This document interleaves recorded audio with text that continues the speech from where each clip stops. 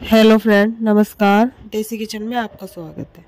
तो देखिए फ्रेंड आज हम बनाएँगे मक्की के आटे का एकदम अलग सा और नया नाश्ता। तो चलिए फ्रेंड ये हमने आधा किलो मक्की का आटा लिया है। इसमें डालेंगे हरी मिर्च, जो हमने बारीक बारीक काट ली है।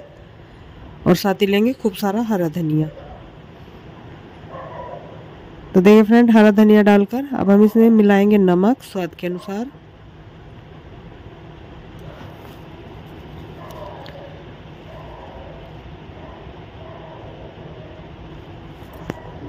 और अब हम इसमें डालेंगे देगी लाल मिर्च। कलर के लिए डालेंगे फ्रेंड एक चम्मच।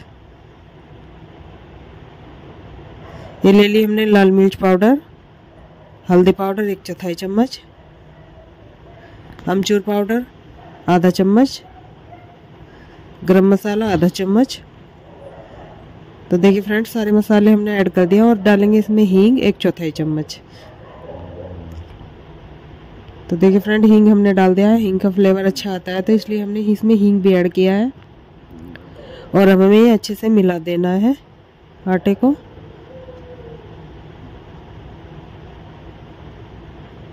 तो देखिए फ्रेंड ये इस तरीके से हम इसे मिला देंगे और अब हम इसे गुनगुने पानी से आटे को गूद कर तैयार कर लेना है इस तरीके से। मक्की का आटा थोड़ा हार्ड गूंदता है तो फ्रेंड थोड़ा थोड़ा करके गूंदेंगे हम। और थोड़ा थोड़ा ही डालेंगे इसमें पानी।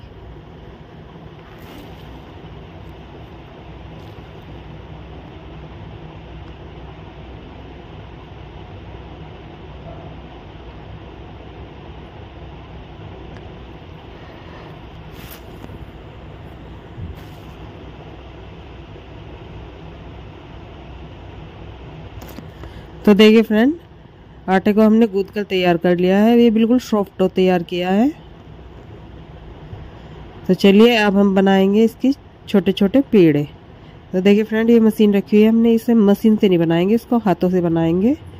और छोटे छोटे से बिल्कुल हमें पेड़े बना लेने हैं। इतने बनाने हैं जितने हमें एक रोटी का पेड़ा तैयार करते हैं।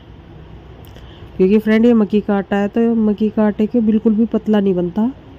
चाहे रोटी पूरी जो भी आपको बनानी है, हल्का सा मोटा ही बेला जाएगा। तो एक साथ हम पाँच छः लोइयाँ बनाकर तैयार कर लेंगे। तो देखिए फ्रेंड, हमने ये चार लोई बनाकर तैयार कर लिया है और अब हम हल्के हाथों से इसकी छोटी सी पूरी बनाकर तैयार कर लेंगे। बिल्कुल इस तरीके से हमें हल्के हाथों से बनाकर तैयार कर लेनी है। हाथों पे घी लगाकर। तो देखिए फ्रेंड ये हमने बनाकर तैयार कर लिया है और अब हमें ऑयल गरम कर लिया है इधर और चेक कर लेंगे छोटी सी पीस डालकर। तो देखिए फ्रेंड ऑयल हमारा अच्छा गर्म हो गया है और अब हमें इन्हें तल लेनी है पूरियों को ये बिल्कुल क्रिस्पी तल कर तैयार होती है। तो देखिए फ्रेंड इस तरीके से हमें दोनों साइड से गोल्डन ब्राउन होने तक सेक कर तैयार करने, कर लेनी है। आप इन्हें सर्दियों में एक बार ज़रूर बनाकर देखिए फ्रेंड ये बहुत ही टेस्टी लगती है खाने में। और एकदम खस्ता बनकर तैयार होती है तो देखिए फ्रेंड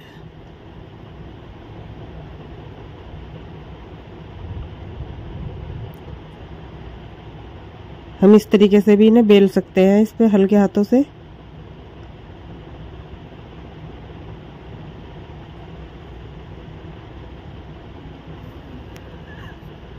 तो देखिए फ्रेंड हमारी ये नाश्ता पूरी बिल्कुल बनकर तैयार हो गई है। इसी तरीके से हमें दूसरी पूरी से बनाकर सेक लेनी है। दोनों साइड से हमें ये अलटते पलटते सेकनी है, बिल्कुल गोल्डन ब्राउन होने तक।